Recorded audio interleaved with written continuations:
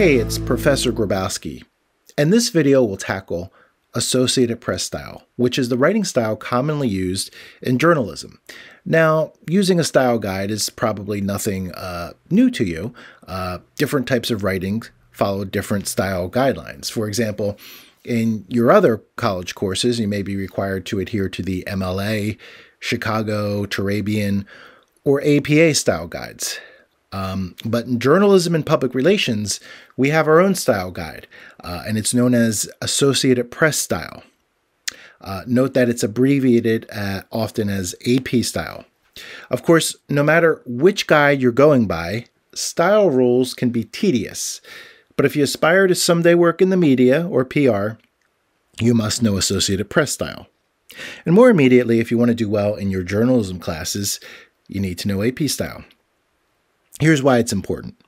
Strictly following a particular usage style provides consistency, accuracy, and clarity in grammar, punctuation, and other language issues. Um, and the AP knows all about the importance of consistency.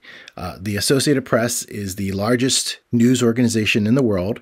They have reporters and bureaus all over the world, and thousands of newspapers, TV news shows, uh, and radio stations use their stories.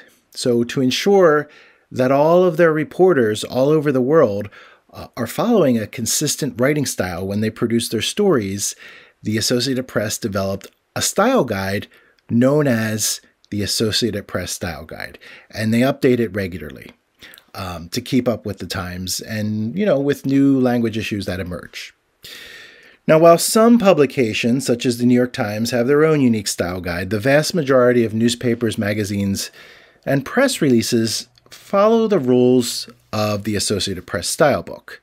And because communicating with the media is a significant part of public relations, PR practitioners must know and utilize AP style as well.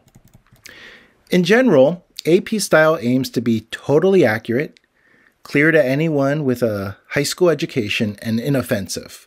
So, for example, curse words are typically avoided. Uh, AP Style aims to do all of these things while being as succinct as possible.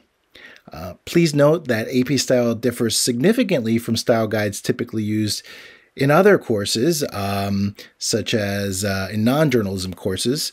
Um, so, the APA style guide, for example, and the Oxford style guides are very different from the AP style guide.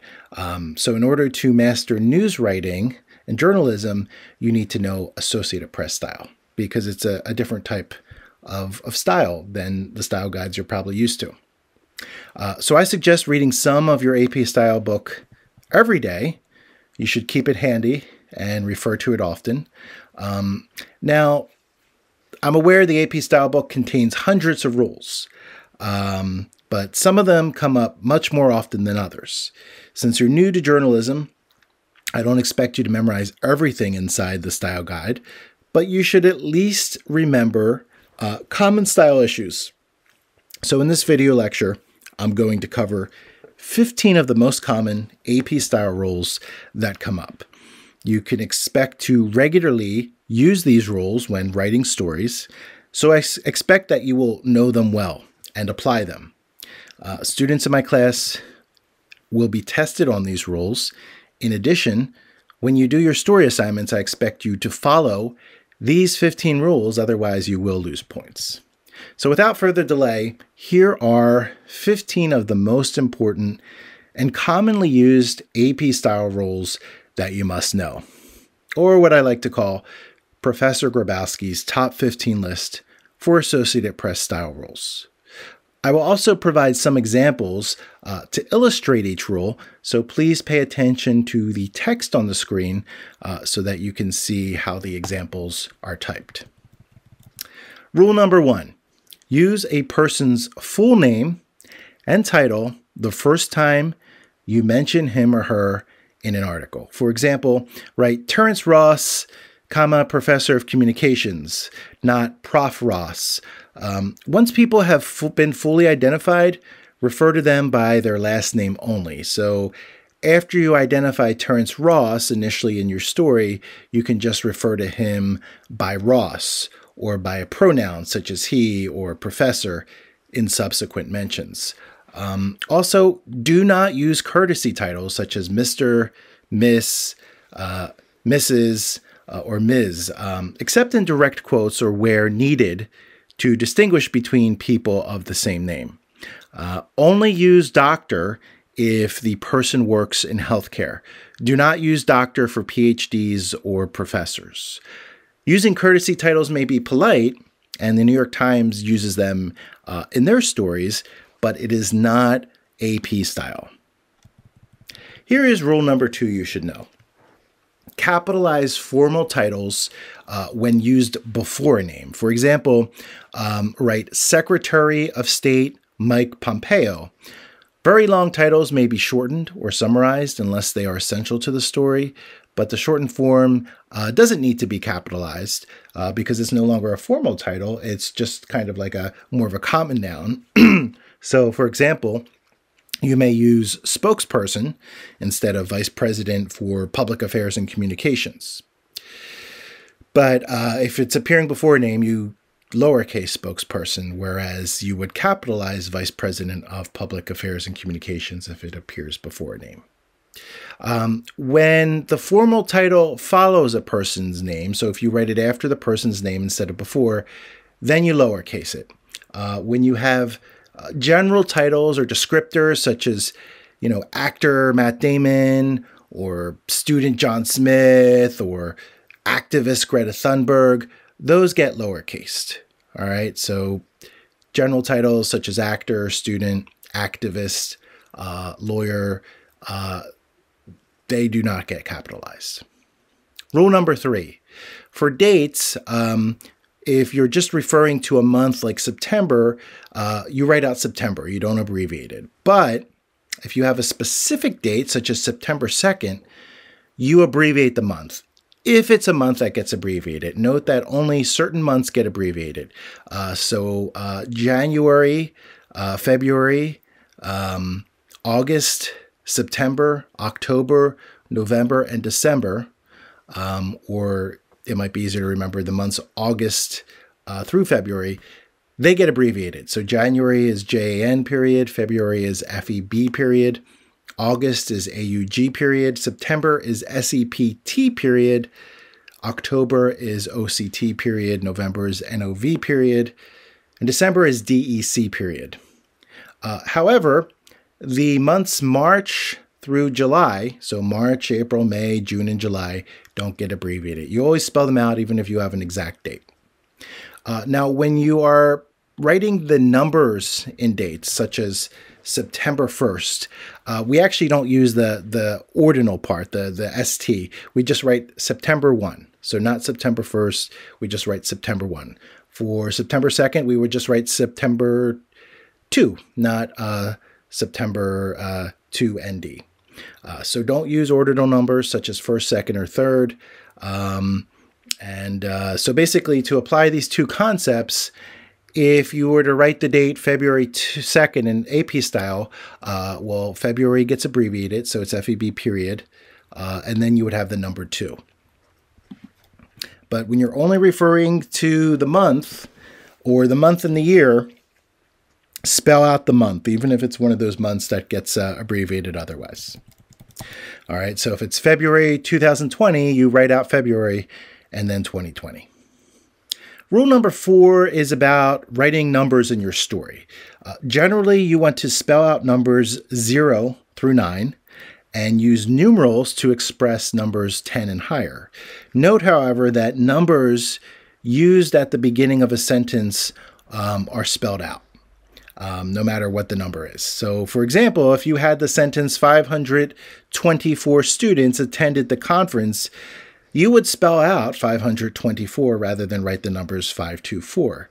Uh, there is an exception to this rule. Um, like I said, the numbers and dates are always expressed numerically. Um, and uh, for example, as you can see on the screen, if you have 2020 was a bad year for everyone, uh, even if you're beginning the sentence with 2020, you use the numeral there. You don't write out, you know, 2020, you write 2020. Rule number five concerns writing people's ages. Uh, you should use numerals for all ages, even for ages younger than 10. Uh, this is another exception to that aforementioned uh, number rule. And when you use a number like an adjective, for example, uh, if you're writing about someone who's 19 years old, so you describe them as, you know, the 19 year old uh, college freshman, for example, you would include hyphens um, in that phrase. So there would be a hyphen between the number, 19, uh, year, and old. Otherwise, don't use hyphens. Uh, and for an example, see the sentences on the screen. Rule number six for percentages, use numerals for the number and then the percent sign for percent. I repeat, do not spell out percent, use the percent sign. This is a fairly recent change to the AP style guide, something they changed in the past couple years. Um, so, for example, uh, see the examples on the screen. Moving along to the next rule, let's discuss how to write time in your stories. To indicate time, use numerals and lowercase letters uh, with periods. See the examples on the screen for 9 a.m. And, and 6 p.m. on the screen. So you have uh, the numeral 9, then lowercase a period, lowercase m period. You have the numeral 6, then lowercase p period, and lowercase m period. Uh, put a space between the numeral and the uh, AM and PM. And um, exceptions for this are noon and midnight. You can either say 12 p.m. or noon, or you can say midnight instead of 12 a.m. But do not say 12 noon or 12 midnight because that's redundant. Uh, the reason why you might say noon instead of uh, 12 p.m. or midnight instead of 12 a.m. is people sometimes get confused about what time is 12 a.m. Does that mean is that during the day or at night? So if you say noon, then people know it's during the day. And if you say midnight, they know you're talking about 12 at night, which is 12 a.m. okay, here is rule number eight. Spell out abbreviations or acronyms for organizations the first time you mention them in a story. So for example, if you're writing a story about Nassau County, about Nassau Community College, the first time you refer to this uh, college in a story, you'd write out Nash, Nassau Community College. Um, but after, if you refer to this uh, Nassau Community College again in your story, on those subsequent references, you can just call it NCC. Um, so basically, the idea is that um, not everyone might understand what an acronym stands for. So the first time we introduce it, we write it out. And then after that, we can use the acronym.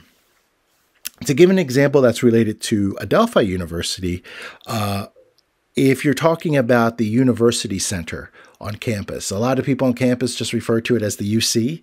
Um, but if you're new to the school or you don't attend the school, you may have no idea what the UC is. So if you're talking about the university center, in a story, the first time you mention it, you would write University Center.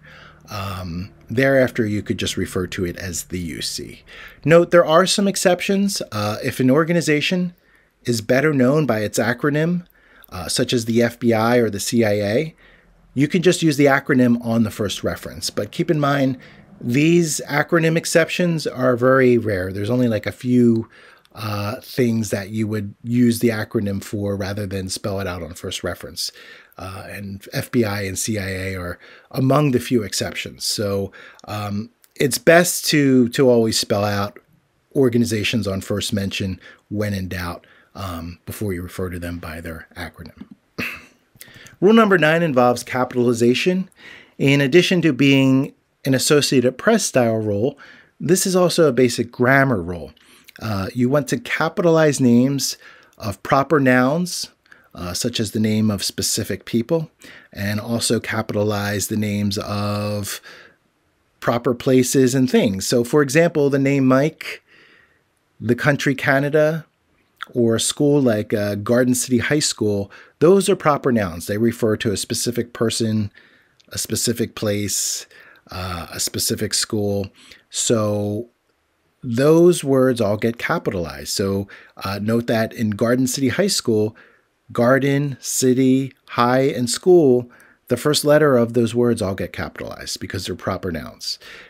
However, if you're referring to a common noun, like you just say the man or the country or the school or the college, rather than name a specific man or a specific school or a specific college, then it's a common noun and it does not get capitalized. Uh, when in doubt, use lowercase. Rule number 10 addresses how to write addresses and stories. And you know, you want to pay attention to the screen uh, for this so you can see the examples because it's a little tricky. When you have an exact address, such as 1 South Avenue, which is Adelphi's address, or 55 Main Street, uh, you abbreviate the street, avenue, uh, or boulevard when they're used with a specific address. So street gets abbreviated as ST period, avenue as AVE period, boulevard as BLVD period. Uh, you get the idea. Um, but if you don't have an, an exact address, if you're just referring to a street name or an avenue name uh, or boulevard name, then you don't abbreviate them. You would write out Main Street. You would not abbreviate street. You would write out South Avenue. You would not abbreviate avenue. Uh, something else to be aware of uh, sometimes streets uh, are named after numbers, right? Like you might have a street called First Street or Sixth Street. Um, well, if the street is first through ninth uh, is for their street name, then um, spell it out. However, if the number is uh, 10 or higher, then use numerals. Uh, so, for example, 9th Street, you'd spell it as N I N T H. However, 10th Street, right, that's 10 or higher, you write the numeral 10, 1 0, and then TH. Uh, also, if you have an exact address, abbrev- and it has compass points, right, such as a uh, northwest, uh, southeast, west, north, uh, east, west, you get the idea. Um, then you can abbreviate them if it's an exact uh, address. So see the screen uh, for the example so you can better understand what I'm talking about. Rule number 11, when you're writing the name of a state, such as New York uh, or Pennsylvania, always spell it out in your story. Don't abbreviate it. Don't use the postal code abbreviation. Um, so write New York, not NY.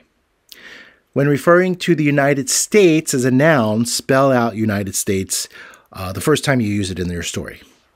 But if you're using United States as an adjective or as part of an organization's name, right, such as the U.S. Department of Justice, or if you're mentioning it for the second or third or fourth time in your story, you can just use U period, S period. Okay, we're almost through uh, my top 15 list. Let's cover rule number 12, which pertains to how to refer to websites in your story. When you're referring to a website, you want to use the name of the website rather than the web address or the, the URL. For example, write YouTube, not youtube.com. Uh, write New York Times or not NewYorkTimes.com. Or you could say the New York Times website. Um, Keep in mind that a URL is merely a source's address in cyberspace. So, for example, when you cite sources, uh, saying adelphi.edu instead of Adelphi University would be the equivalent of saying according to 1 South Avenue in Garden City instead of saying according to Adelphi University. You wouldn't do that, right? You wouldn't refer to um, something in the physical world by its address, you'd refer to it by its name. So you want to do the same when it comes to cyberspace and internet addresses refer to the name of the website um, rather than the URL. Rule number 13 concerns punctuation, and this is both an AP style rule and a grammar rule. Uh, for periods, you use a single space uh, after the period at the end of a sentence. For commas, uh, do not use what's known as a serial comma, or an Oxford comma. So, for example, if you have a series of names such as John, Paul, George, and Ringo, there would be no comma after George and before the word and, as you can see on the screen. Rule number 14 pertains to how you punctuate quotes from uh, sources in your story. Uh, and that's basically just a repeat of what I covered in my previous lesson on quotes. Remember, uh, at the beginning of a quote, you need to have quote marks, and at the end of the quote, you need to have quote marks. Uh, punctuation goes inside the quote marks. So you can see the uh, examples posted on the screen there. Finally, we have my last rule in my top 15 list, which pertains to money. When referring to money, dollar amounts are always expressed as numerals and the dollar sign is used. For cents or amounts of $1 million or more, spell the words cents, million, billion, trillion, etc. Uh, please see the examples on the screen.